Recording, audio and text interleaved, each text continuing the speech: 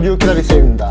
우리가 인생을 살면서 제일 목표로 두는 경제적인 활동, 돈을 많이 벌고 싶다라는 경제적인 활동, 가정이 행복했으면 좋겠다라는 마음의 평안의 목표, 참 여러 가지의 자기만의 목표를 가지고 살고 있습니다. 그런데 젊을 때는 몰랐었던 나이가 들면서 누군가가 가르쳐 주지 않아도 내가 느끼게 되는 젊은 시절에 몰랐었던 부분을 나이가 들면서 알게 되는 그런 경우의 상황들과 나의 모습들이 생기게 됩니다.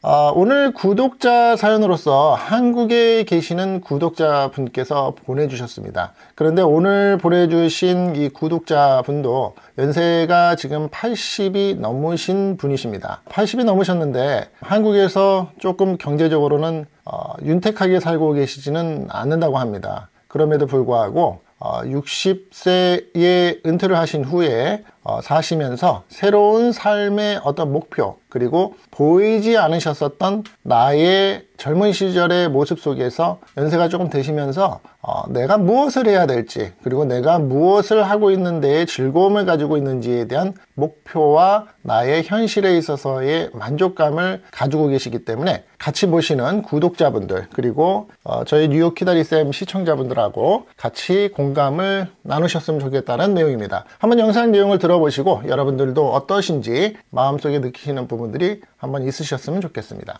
쌤 안녕하세요. 80대 애청자입니다.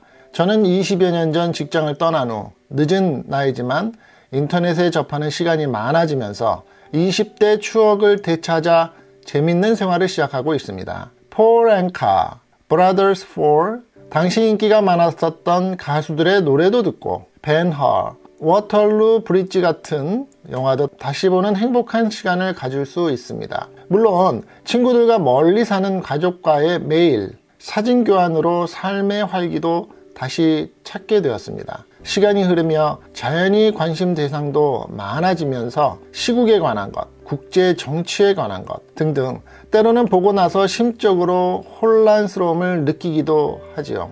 그런데 진흙 속에서 보석을 발견한 큰 기쁨을 느낄 수 있었던 경험도 있습니다. 바로 여러 가지 감동적인 미담을 소개하는 글들입니다. 자주 읽다 보니 세상이 희망적으로 굴러가고 있다는 생각도 들고 또 나도 미담의 주인공으로 살 수 있을까 하는 생각을 하고 있습니다. 그래서 한 가지 실천을 하고자 지금은 부모 없이 친척 손에 의지해 사는 어린애를 하나 정해서 초등학교 입학 때에 도움이라도 될까 해서 조그만 적금을 하나 시작해서 2년이 되어 갑니다. 제 자신 퇴직 후 파란을 겪으며 피치 못할 사정으로 혼자서 기초수급자 혜택을 받으며 살기 때문에 지금의 적금이 실질적인 도움이 될 정도라고는 생각하지 않습니다. 그러나 이런 생각을 할 수 있었다는데 보람을 느낍니다. 예전에 열심히 살기만 하던 젊은 시절에 몰랐던 나이가 들면서 보니 지금 저의 눈에는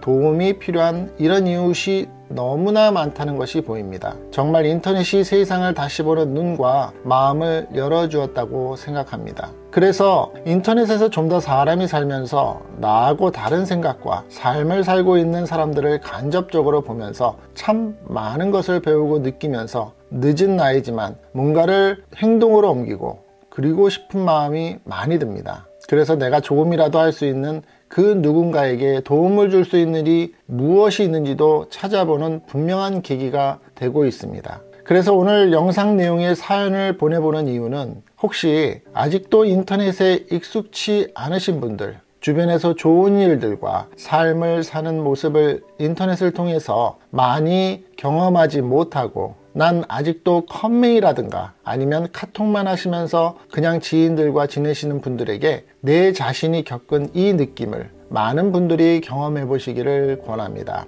장황한 글이지만 나름대로 보람을 느끼며 노년을 사는 한 예로서 생각해 주셨으면 합니다. 감사합니다. 2019년 6월 성함을 넣으셨는데 성함에 대한 부분은 제가 뺐습니다. 어, 네, 그렇습니다. 이분의 글을 다 읽어보시면 기초수급자, 그러니까 이제 정부로부터 생활보조금을 받으시는 한국에서 생활을 하시는 80대의 연세를 가지고 계시는 분이라는 말씀이시죠. 60대에서 모르셨던 그런데 이제 80이 되시면서 인터넷을 접하면서 많은 정보 내용과 뉴스거리와 어떤 가십거리, 사람이 사는 내용들을 이렇게 보시다가 보니까 비간접적으로 어, 내가 몰랐었던 어, 주변 사람들의 사는 모습을 인터넷을 통해서 뭐 유튜브를 통해서 이렇게 보시다가 보니까 보는 거로 끝나는 게 아니라 나도 그 사람들한테 무엇인가 필요한 사람이 될 수 있을지 무엇인가 필요한 사람이 되고 싶다라는 어, 그런 생각이 드시면서 바로 실천에 옮기셨다는 말씀이시죠. 중요한 말씀은 혼자 기초수급자 혜택을 받으시면서 사시고 계신다는데 사실 한국에서 어, 기초수급자로 이렇게 혜택을 받으시는 분들이 넉넉하거나 윤택하게 내가 쓰고 싶으신 만큼 충분하게 쓰고 사시지는 대부분이 못하다라고 저는 알고 있습니다. 그럼에도 불구하고 저금이 아니라 저축예금이 아니고요. 어, 적금을 드셨다라는 부분으로 2년을 이렇게 이제 납입을 하셨다는 소리는 어, 마음이 확고하시다라는 소식이죠.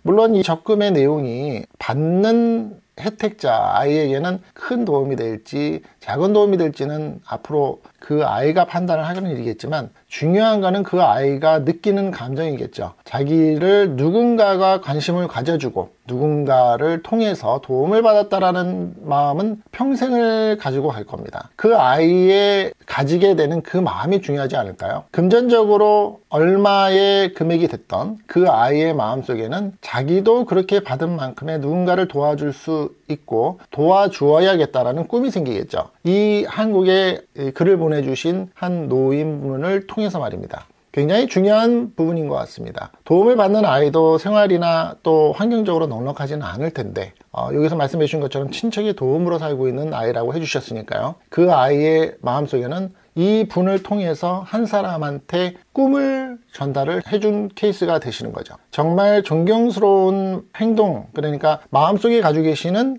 일을 직접 실천에 옮기신 그러한 말씀이시고 그러한 분이신 것 같습니다. 음, 오늘 영상 여러분들은 어떠신가요? 주변에서 여러분들도 누군가한테 내 도움의 손길, 내가 가지고 있는 탤런트, 나의 기능 제보, 경제적으로 하실 수가 없고 환경적으로 하실 수가 없다면 한번 이 부분도 생각을 한번 해보십시오. 내가 가지고 있는 재능, 재능 기부라는 말씀 많이 들으셨을 겁니다. 내가 가지고 있는 재능을 누군가한테 도움을 주고 누군가한테 인생의 변화를 줄 수 있는 계기, 한 번쯤은 생각을 해보시면 여러분들도 어떨까요? 오늘 영상 한국에서 어, 인터넷을 접하시면서 인터넷을 통해서 많은 즐거움을 가지고 계시다는 노인분을 통해서 여러분들과 저 또한 인생을 살면서 더 늦은 나이 또 많은 나이가 돼서 그때 가서 생각을 해보기보다는 지금 생각할 수 있다면 이런 기회를 통해서 여러분들도 한번 뒤돌아볼 수 있는 계기가 되셨으면 좋겠습니다. 많은 사연들 밑에 제가 자막으로 달아드리고 있는데요.